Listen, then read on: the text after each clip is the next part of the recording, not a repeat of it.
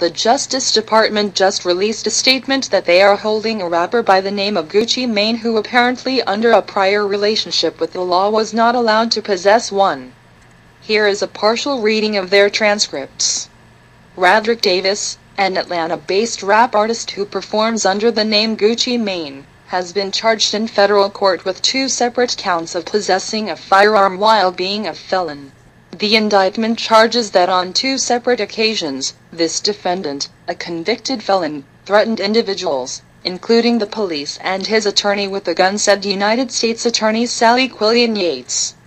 This is how people get hurt, and we are committed to ensuring that convicted felons not have guns. When offenders such as this use firearms to threaten individuals, including law enforcement officers sworn to protect our community, ATF takes this very seriously, said ATF Special Agent in Charge Christopher Schaefer. ATF remains on the front line of preventing violent crime along with our law enforcement partners and will continue to pursue those who violate the law, regardless of their celebrity status.